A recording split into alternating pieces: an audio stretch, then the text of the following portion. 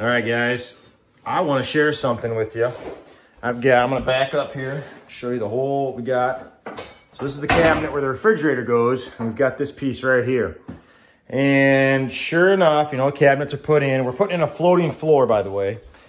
And, you know, nobody wants to put quarter round, base shoe around, anything like this, right?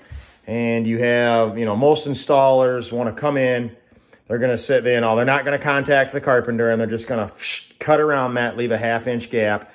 And the issue with that is, again, you don't want to put any trim on that. So easy thing to do.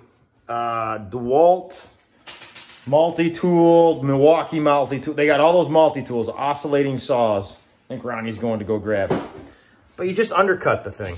Real simple. Um, boom. That's all it is right there. Easy little tool to use. And so you undercut, you undercut that, and now our floor goes underneath there. It went together just fine. And visually, that's just to look awesome. Now, next thing. With these uh, pieces, I don't know if you can see that. They're, they're not tight. I got it kind of wedged in there right now with those uh, brackets, but I've, I've got to show you something else to do here. But what you should do is I always pick up these little L brackets like this. Short little screw to go into there. And then you're going to put one through the floor. Now, the screw that you put through there, you don't want to screw right through your, your uh, material. I'm using, I think it's a quarter inch drill bit. So I'm gonna put a quarter inch hole just through the material.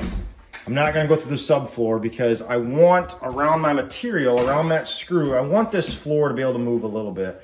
Uh, truthfully, I think the floor needs like, uh, said like a quarter inch or 5 16 inch spacing around the edge. Yeah, we're not gonna have that here. And truthfully, most of the time, 5 16 is gonna be pretty hard uh, pretty hard to get anybody to go for something like that if you use, especially if you're using a 3 8 inch baseboard. But anyways, so all you're gonna do is take your drill. This is real simple. Drill out.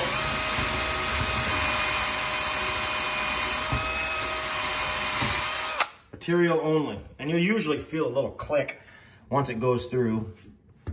The nice thing is we got a quarter inch hole there. And uh, boom, we're ready to rock and roll with the floor. Get that screwed in. Uh, another thing, uh, you also want to make sure you get it lined back up where it needs to go. So, and I did that. I did mark a line back here. So I'm going to put the phone down, screw this in, and then show you when I'm done. Okay, so I got this all done here. So, you know, regardless, I know the screws don't match, but the refrigerator is going to sit in there, and this is going to cover up that whole front. So the refrigerator is gonna come right up to this. Anyways, you're never gonna see that, you know, just like that, that water line back there. But so the reason for screwing that down is, I, I've seen so many of these, especially like, I've seen it where they've taken finish nails and tried to put a finish nail through. That's a stupid idea. Um, this is gonna be in a walkway, and I'm sure at some point somebody's gonna graze that or come into it, and you just want to um, keep it from uh, uh, moving, breaking. So anyways, little tip for the day. Hope it helps.